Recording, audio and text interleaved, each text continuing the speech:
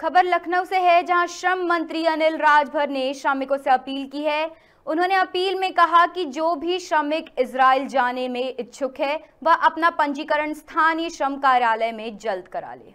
मैं आप सभी लोगों से निवेदन करना चाहता हूँ, जैसा आप सब लोग अवगत हैं इस बात से, कि उत्तर प्रदेश के कुछ कुशल कामगारों को, श्रमिकों को इसराइल भेजने का काम चल रहा है।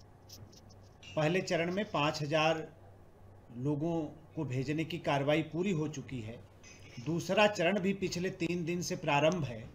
मैं अपने सभी कुशल कामगारों से, अपने श्रमिक भाइयों से मैं निवेदन करता हूँ कि आप जल्दी से आवेदन करिए और आप उस कार्रवाई का हिस्सा बनिए।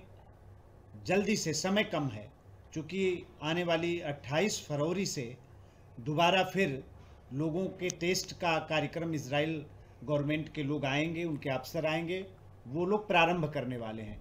तो आपका आपका आवेदन किसी भी सूरत में 25 तक आपका आवेदन संपन्न हो जाना चाहिए।